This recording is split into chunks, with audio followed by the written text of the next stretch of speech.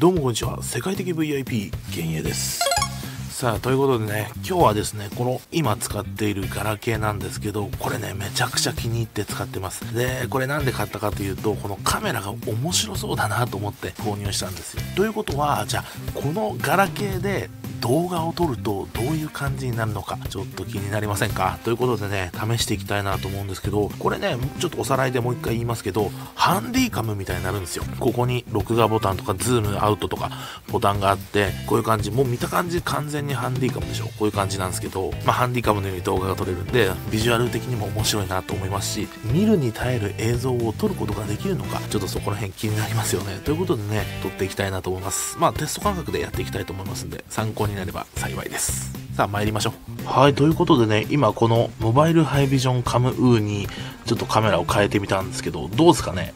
綺麗に撮れてんのかな？わかんないな。ハイビジョンなんでまあまあっていう感じかなと思うんですよ。以前ねあの YouTube で調べた時に動画を上げてる方がいてまあ別に見れなくはないなっていう画質だったんでもしかしたらいいかなと思ってちょっとやってみています。まずちょっと顔をね映してみます。こういう感じですね。どうなんだろう？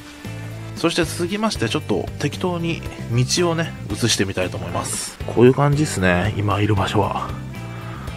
空あれ月なんですけどちょっとズームしてみましょうかせっかくなんで。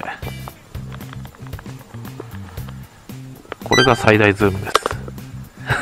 どうなんだろうよくわかんないな。こんな感じ。まあ、ガラケーの画面を通してみると、そこそこ綺麗に映ってるんじゃないかなと思うんですけどね。どうでしょうか？はい、ということでね、ガラケーの画質はこういう感じでございます。はい、ということでね、このガラケーで撮ってみたんですけど、ちょっと家に帰ってみないとどういう感じに映ってるのかっていうのがわからないんで、あれなんですけど、どうなんだろう？このガラケーの画面を通して見た感じだと、まあ、綺麗に映ってるのかなと思います。あの、月が出てたんでね、ちょっとズームしてみたんですけど、綺麗かなという感じに思いました。まあね、どうなんでしょう？720p いけるっていうんで、まあ、遊べる画質？あの 360p みたいにさ、ええー、みたいな感じではないと思うんで、何か遊べそうな感じ、期待はしています。個人的にね。まあ面白い機種ですんでね。ぜひね、あの、購入してみてはいかがでしょうか。はい、そんなこんなで今回はですね、 Mobile Hi-Vision CAM Wooo のテスト撮影をしてみました。お疲れ様でした。